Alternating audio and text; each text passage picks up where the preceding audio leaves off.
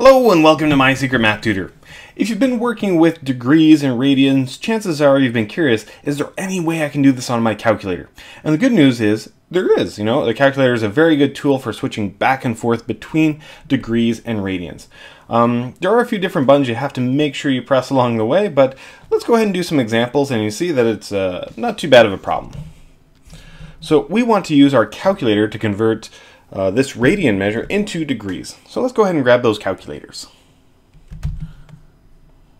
All right, the first thing that you want to do is set the proper mode. You can find the mode button just right here next to the uh, second button.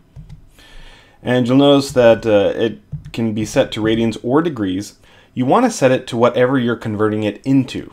So since we're turning these into degrees, we're going to set our calculator to degree mode. All right, so enter looks like degree is set. Back to our home screen.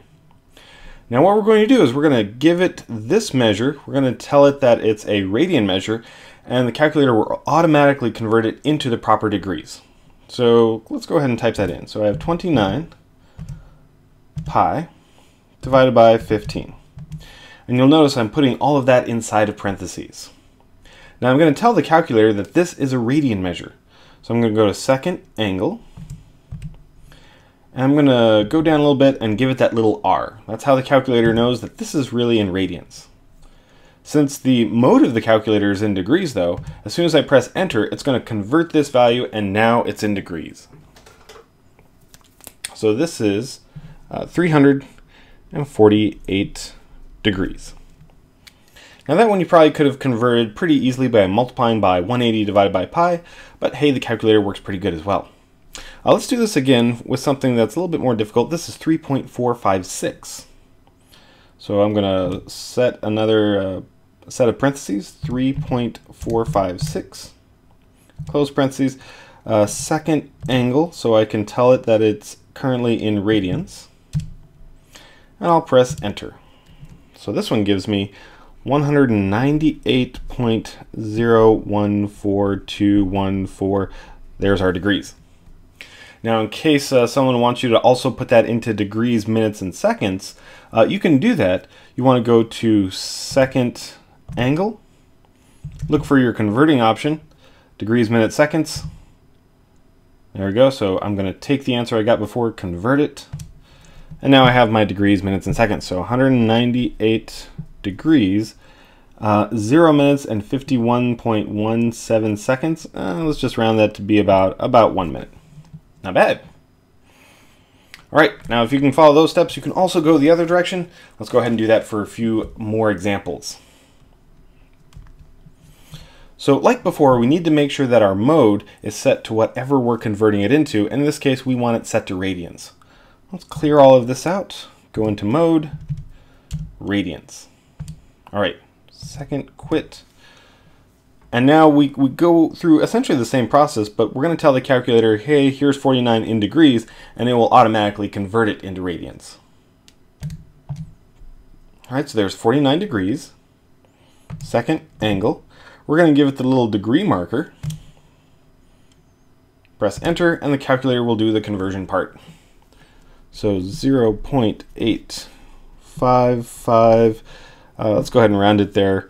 So about uh, 0.855 radians. Now this also works if you're dealing with something that is in degrees, minutes, and seconds. It'll also convert that into the proper radians. Uh, I find with this one though, I have to convert my minutes and seconds uh, as I go. So watch how I type this one in. I'm going to open up a set of parentheses. So there's our parentheses. Do 157 plus 40 divided by 60. So it's like I'm taking that 40 uh, minutes and saying, well, there's a total of 60 minutes in a degree, and really writing this all as degrees. All right, now let's go to second angle and tell it that uh, this is all a degree measure and press enter. So 2.75, uh, let's go ahead and round that, 2.752 radians.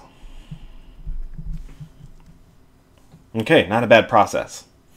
Now, you may be curious, you know, you've seen some radian measures and sometimes they actually have pi written in them. Uh, even if they have pi, you can still use your calculator to convert them, um, but you have to kind of interpret the answer you're getting just a little bit. So it won't show up on the screen. We have to do just a little bit of work. Uh, for example, here's negative 225 degrees. And if I was to convert that into radians, I would get uh, a value, a decimal, but I can also describe it using pi a little bit cleaner. Let's see how that works. So I already have my mode properly set to radians. That's what we're turning things into.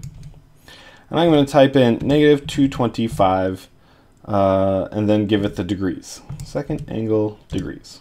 Enter. Now, this is the proper radian measure, uh, negative 3.926990817. You know, that, that's actually pretty good. But if I divide this by pi, it reveals that it may be a nice fraction as well. So I'm going to press second, and I'm going to press a divide by second pi, and press enter. And look at that, when I divided it by pi, I got a nice terminating decimal. It stopped. This is a clue that it really is a fraction with pi in it. What fraction is it? Well, now I can use my math button to convert this number into a fraction. That's my first option. And I see that it's negative 5 fourths. Now here's where we have to uh, uh, kind of interpret what we get. So I've taken this number, I've divided by pi, and I turned it into negative 5 fourths. That means the answer really does have a pi in it, I just removed it out of there to make the numbers a little bit cleaner. So let's go ahead and put that pi back into our answer. So this shows that negative 220 deg or 225 degrees is negative 5 pi over 4. And you can do this with a lot of others. You know, just divide a pi out to see if it turns into a nice fraction. Um, and sometimes it does, sometimes it doesn't. It all depends on what degrees you're working with. All right, let's give this one more try. Let's do 120 degrees. So second angle.